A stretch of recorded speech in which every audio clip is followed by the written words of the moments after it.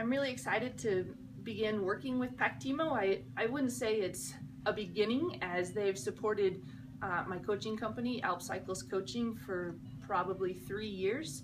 But now I get to be more personally involved, and I'm really excited because they're great company, Colorado company with really good people and amazing clothing for cycling. And I'm I'm excited to to give back and help them promote their amazing products.